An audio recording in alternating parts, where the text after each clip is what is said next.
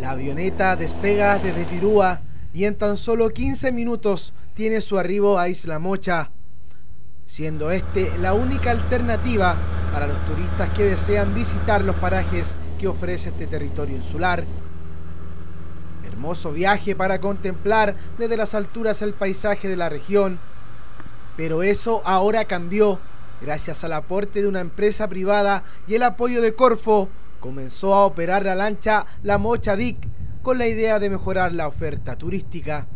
Para nosotros es muy bueno porque vamos a tener acceso a traer nuestras cosas y, el turismo los va a hacer muy bien porque igual nosotros tenemos acá, llega turista pero no tanto. Para las personas que la van a necesitar, que en el fondo también va a ser mi familia, que viven en el, en el Conti, que le llamamos nosotros,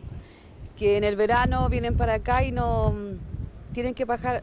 pagar elevada suma de dinero en, los aviones particulares. La embarcación cuenta con capacidad para 10 personas, 7 toneladas de carga, con un costo de 15 mil pesos y un tiempo de viaje de una hora y media,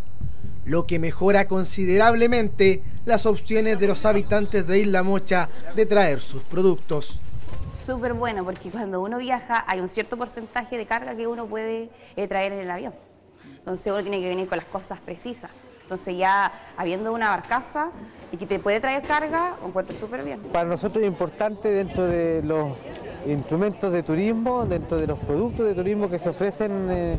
en el Lewe y La Mocha, esta nueva conectividad marítima con esta lancha, eh, que tiene un sentido totalmente turístico, pero que va a ayudar también a conocer mucho más la isla.